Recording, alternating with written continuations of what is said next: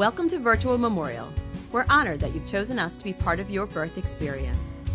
When it's time to have your baby, if you arrive at the hospital between 7 a.m. and 8:30 p.m., please enter through the main entrance. Monday through Friday, valet parking is available for your convenience. On the weekends, free visitor parking is available within walking distance of the main entrance. If you arrive between 8:30 p.m. and 7 a.m., please enter through the emergency department. The emergency department entrance should also be used by your primary support person if he or she comes to visit after hours. Once inside the hospital, go to the third floor. When you arrive on the third floor, stop and ring the bell to be admitted into labor and delivery. Once inside, stop at the nurse's station to check in. Next, you'll be taken to the labor and delivery triage area where you'll be evaluated. Your primary support person can accompany you and keep the other members of your support team informed of your progress.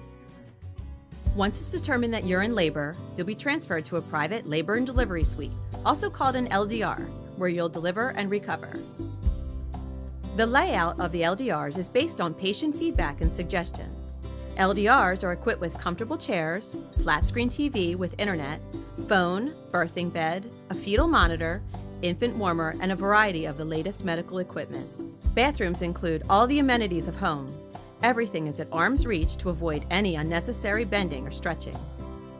You'll remain in this room throughout labor, birth, and for one hour after the baby's born. During labor, three support people can be in the LDR with you.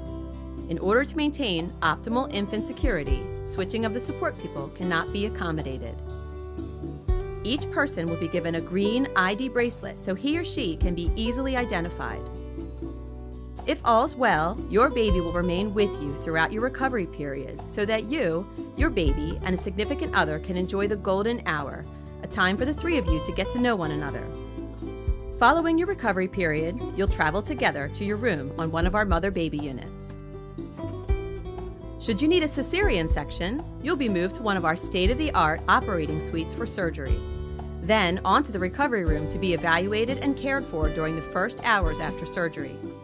Your primary support person will accompany you for your surgery and may stay with you in the recovery room. The other members of your support team can remain close by in the waiting room. And if they'd like to get something to eat while you're in surgery, there's a cafeteria on the first floor.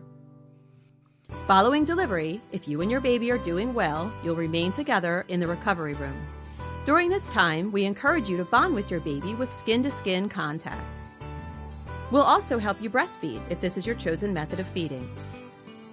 Eventually, the baby will go to the mother baby unit where a nurse will measure the baby's length and perform a thorough physical assessment in your room. Once you've completed your recovery time, you'll be transferred to a room on the mother baby unit for the remainder of your hospital stay. Most of the mother baby rooms are private. We provide new moms with a room to themselves whenever possible, only doubling up during very busy times. If your baby needs specialized care, the Virtua Special Care Nursery provides care for newborns 32 weeks and older. The nursery is equipped with all of the latest technology. And the layout of the nursery enhances privacy for breastfeeding and allows natural light to flood the area, which is good for healing. Parents of babies in the special care nursery can take a break from the bedside to enjoy refreshments, use a computer, and receive education and support from the specially trained staff in the Ronald McDonald Room. Right now, your thoughts are probably focused on your labor and the birth of your baby. But we want to help you be ready for those what if moments that may occur in your parenting journey. There may come a time when your baby will need to receive medical care after the pediatrician's office is closed. Virtua Memorial provides emergency care in its pediatric pavilion. Should your child require hospitalization, the Pediatric Pavilion also houses the Pediatric Inpatient Unit. The pavilion is staffed round the clock with Virtua pediatric nurses and Children's Hospital of Philadelphia pediatricians. These physicians care for Memorial's littlest patients through a partnership between Virtua and CHOP.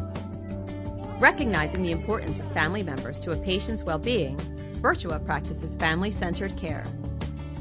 A parent may remain with her child throughout her hospital stay. Every patient room has a flat screen TV with internet access, DVD player, and Xbox.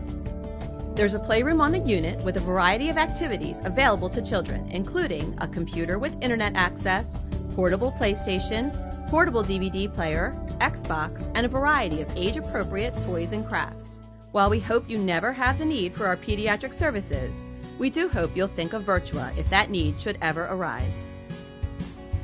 We wish you the best in your upcoming birth and look forward to partnering with you for your baby's birth and all of your future healthcare needs.